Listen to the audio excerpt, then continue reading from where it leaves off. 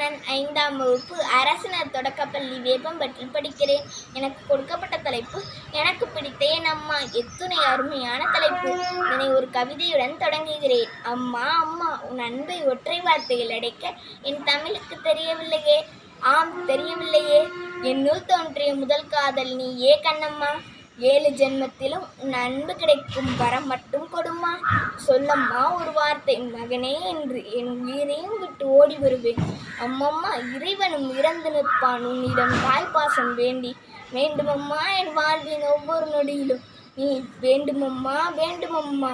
இந்த கவிதையை என் தாய்க்காக எழுதப்பட்ட கவிதையாய் நினைக்கிறேன். அம்மா என்பவள் இந்த உலகில் நமக்கு கிடைத்த மிகவும் புனிதமான உறவு. ஒரு தாய் எனப்படுபவர் தனது குழந்தையை நேசித்து சீராட்டி பாராட்டி வளர்க்கிறார் இந்த உலகில் தோன்ற காரணமாக இருப்பவர் நம் அம்மா. நமக்கு உடலையும் உயிரையும் கொடுத்தது மட்டுமின்றி இளமையிலிருந்தே நம்மை வளர்த்து ஆளாக்குவதில் அவளின் பங்கினை வேறு எவரும் செய்ய இயலாது.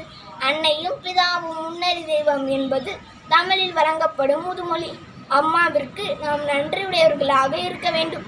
அன்னையை நாம் தெய்வமாக கருதி போற்றி வணங்க வேண்டும். நமது அன்னையின் மூலமாகவே இந்த உலகில் நாம் நமது தந்தை மற்றும் புற உறவுகளை அறிகிறோம்.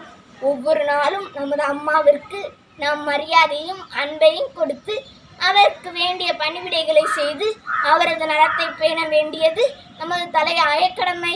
நாம் பிறப்பதற்கு முன்பு நம்மை கருவில் பத்து மாதம் சுமந்து சிரமப்படும் தாய் நாம் பிறந்தவுடன் நமக்கு ஒரு சேவகியாக நண்பனாக வழிகாட்டியாக ஆசனாக என்று பல்வேறு செயல்களை ஒருங்கே செய்கிறார். நம் மாணவர்களுக்கான பரிசுகள். நச்சினை இணையதள பராமரிப்பு நச்சினை வானொலி சேவை நச்சினை யூடியூப் சேனல் மற்றும் நச்சினையின் சமூக செயல்பாடுகளுக்காக டபிள்யூ டபிள்யூ டாட் நச்சினை டாட் ஓஆர்ஜி என்ற இணையதளத்தில் நன்கொடை பகுதியை அழுத்தி நச்சினை அறக்கட்டளைக்கு சிறு தொகையேனும் நிதியுதவி செய்யுங்கள். நீங்கள் அளிக்கும் ஒவ்வொரு ரூபாயும் நம் தமிழ் சமூகத்தின் வளர்ச்சிக்கு மிகவும் உறுதுணையாக இருக்கும். சிறு துளிதான் பெருவெள்ளம். ஒரு தாயின் தியாகம் இல்லாவிடல் நாம் ஒரு மனிதனாக இந்த உலகில் நடமாடி செயல்பட முடியாது.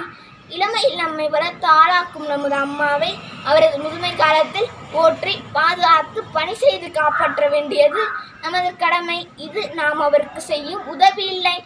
நன்றி கடனே. இந்த கடமையை செய்ய தவறும் பட்சத்தில் நாம் மனித தன்மையற்றவர்களாவோம். என் இத்தனை சிறப்புடைய என் தாயின் பெயர் வித்யா அவருடைய ஆசை என்னை தலை சிறந்த மருத்துவராக்கி இந்த உலகுக்கு நான் சேவை செய்ய வேண்டும் என்பதே அவருடைய ஆசையை என்னுடைய லட்சியமாக கொண்டு நிறைவேற்றுவதே நான் என் தாய்க்கு செய்யும் கைமாறாக நினைக்கிறேன். இதனைத்தான் வள்ளுவர் ஈன்ற பொழுதின் பெரிதுவக்கும் தன் மகனை சான்றோன் என கேட்ட தாய் என்ற குரலின் வாயிலாக கூறுகிறார். உங்கள் தாயுடைய கனவையும் நனவாக்க பாடுபடுவீர்கள் என நம்புகிறேன். நன்றி. வணக்கம்.